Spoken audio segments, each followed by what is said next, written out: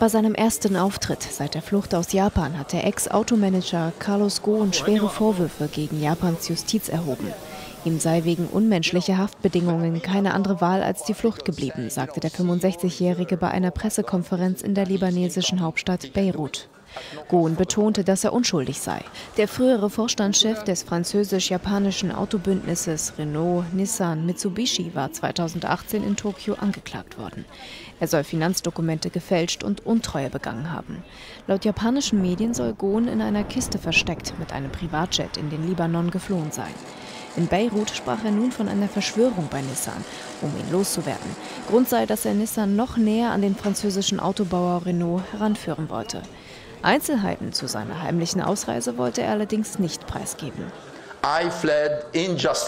Ich bin vor Ungerechtigkeit und Verfolgung geflohen, vor politischer Verfolgung, nachdem ich mehr als 400 Tage unmenschliche Behandlung in einem System überstanden hatte, das mich brechen wollte und mir nicht mal ein Minimum an Gerechtigkeit zugestand, blieb mir keine andere Wahl, als mich und meine Familie zu schützen.